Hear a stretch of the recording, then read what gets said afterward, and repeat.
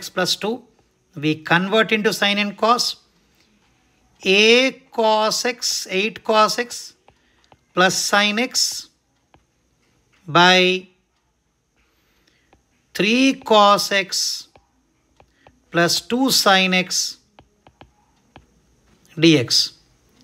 So what happens? Integral a cos x plus b sine x by c cos x plus d sin x dx is equal to ac plus bd by c square plus d square x plus ad minus bc by c square plus d square log base e modulus of denominator function.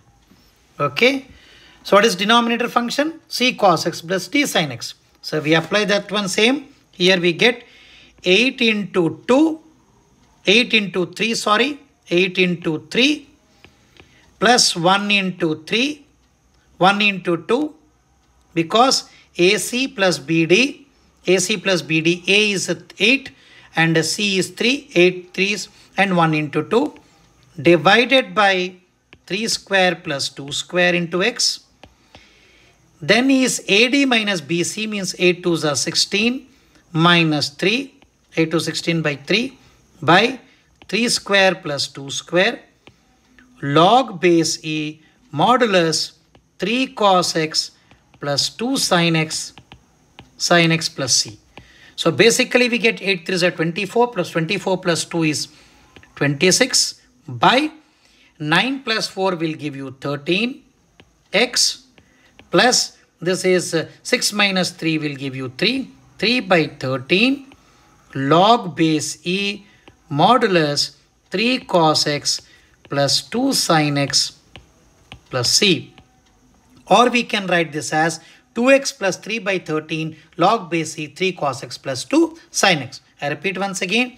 AC plus BD AC means 8 3 is 24 plus 2 will give you 26 and denominator is 13 26 by 13 will give you 2 2x plus AD AD minus BC AD means 8 to 16 16 minus 3 a 8 2 is 16 sorry this is uh, 8 to 16 16 minus 3 will give you 13 not 3 it is 13 so 13 by 3 will give you 1 so final answer is 2x plus log base e modulus 3 cos x plus 2 sin x plus c. Here it is 1 it is 8 2s are 16 not dot. It is 16